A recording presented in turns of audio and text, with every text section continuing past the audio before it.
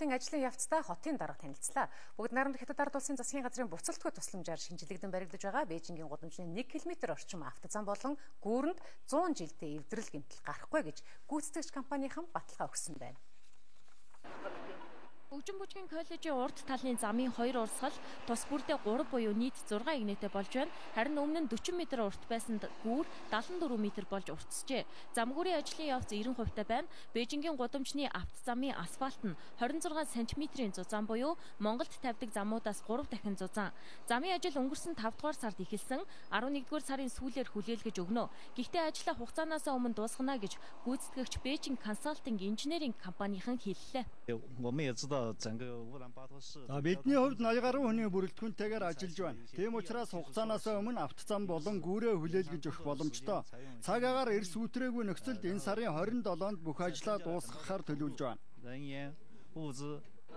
Хотын дарга Бээжингийн гудамжны замын ажилтай танилцсны дараа Дүнжин гаруй худалдааны төвөөс Улаастай замын уулзуур хүртэлх 6 км автозамын чанартай танилцлаа. Энэ замын зураг төслийг гүйцэтгэгч Бат Глостер компани хариуцлагагүй ажилласны улмаас 110 кВт-ийн өндөр хүчтэлийн шугам замын тараасттай огтлолцсон байсныг гүйцэтгэгч компани нь зассан байна. Зам дагуу явган хүний замаас гадна 3 метрийн өргөн дугуйн зам тавина.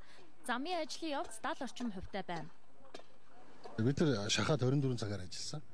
Тэгэхээр яг шөндөө нэг жоохон температур бодох тэрэн дээр асфальтын нэг температур жоохон буусандаа холбоотой нэг тэгш байдлын жоохон хэмнэлэн гарсан. Тэгээ яг энэ замдаа болохоор манайх 3 жилийн баталгаад хугацаатай байгаа гэрээгээрээ захиалагч юм. Тэгэхээр 3 жилийн хугацаанд гарсан бүх өвдөрлийг манай компани өөрийн хөрөнгөөрөө засварлана гэсэн юм гэрээтэй байна.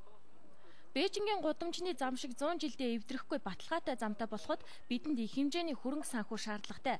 Цаашид хэмжээнд бус чанарт анхаарч богинохонч бай чанартай зам тавьдаг болно гэж хотын дарга онцолж байсан юм а. Цаашдаа бол бид стандартаа тавиад тэрэндээ таарсан мөнгө л өгчээ. Ямар зэрэглийн зам тавиулах гэж байгаа тэрийгэ хэлээд тэрэндээ мөнгөний нь бол хангалттай өгдөг байх ёстой л гэдэг ахгүй да бид нар.